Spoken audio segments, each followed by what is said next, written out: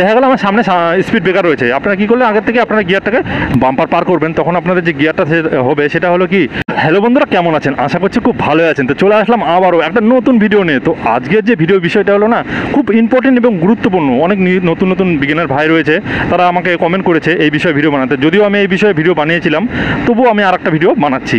ঠিক আছে? যে অনেক নতুন নতুন ভাই আমার চ্যানেলে সাবস্ক্রাইব করেছে, তো তারাও জানতে চায় ব্যাপারটা কি। ভিডিওটা আমি অনেকদিন আগে যেহেতু বানিয়েছিলাম সেই ব্যাপারটা কি? যে স্পিড ব্রেকার নিয়ে।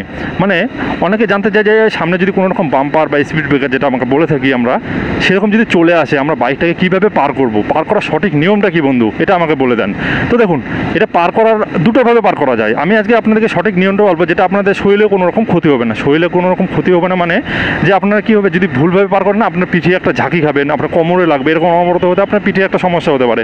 তো আপনাদেরকে সঠিক নিয়মটা বলে দেবো। তো সেই জন্য ভিডিওটা অবশ্যই মনোযোগ দিয়ে আপনাদের কী করতে হবে, শেষ পর্যন্ত কিন্তু দেখতে হবে। আর দেখার পরে যদি ভিডিওটা ভালো লাগে, এরকম টাইপের আরও ভিডিও পেতে অবশ্যই চ্যানেলটিকে সাবস্ক্রাইব করে পাশে বেল আইকনে প্রেস করে দিবে।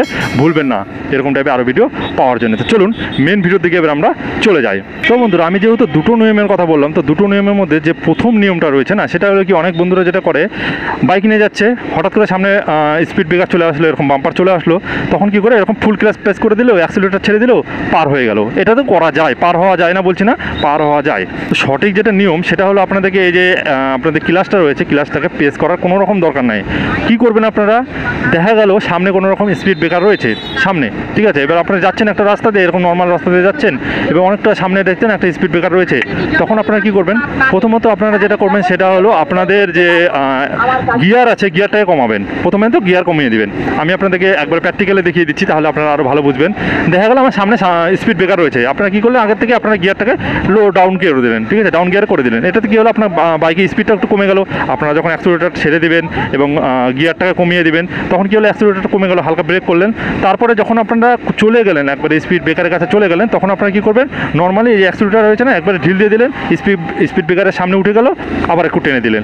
আপনাদের এরকম যে ক্লাস রয়েছে ক্লাস পেস করার কোনো রকম দরকার নেই। এবার যদি বলেন যে কত নম্বর গিয়ারে পার করব, সেটা এবার জানার বিষয়। দেখুন, আপনারা যখন এরকম স্পিড ব্রেকারে পার করবেন, যখন আপনারা এরকম বাম্পার পার করবেন, তখন আপনাদের যে গিয়ারটা হবে, সেটা হলো কি অনেকগুলো থাকে, দেখবেন, অনেক বড় বড় মানে উঁচু উঁচু স্পিড ব্রেকার থাকে। সেগুলোর মধ্যে আপনারা নর্মালি দুই নম্বর সরি এক নম্বর গিয়ার দিয়ে আপনারা পার হতে পারেন। যেগুলো নর্মালি ছোটো ছোটো স্পিড ব্রেকার রয়েছে, সেগুলোতে আপনারা দুই নম্বর দিয়ে পার হয়ে যেতে পারবেন। আর যেগুলো উঁচু উঁচু রয়েছে দেখবেন অনেক রাস্তার মধ্যে অনেক উঁচু উঁচু থাকে।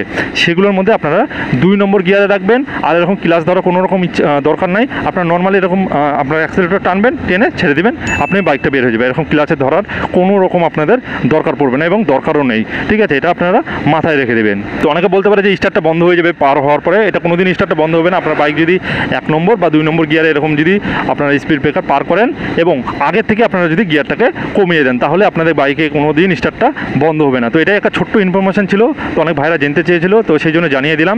তো আশা করি আপনাদের কাজে লাগবে বা ভালো লাগবে। যদি ভালো লাগে বা কাজে আসে, অবশ্যই চ্যানেলটিকে সাবস্ক্রাইব করে পাশে বেল আইকনে প্রেস করে দেবেন, এরকম টাইপের আরও ভিডিও পাওয়ার জন্য। তো আজকে আমরা এত কি ফিরছি কোনো নতুন ভিডিও নিয়ে। Thank you take care and bye bye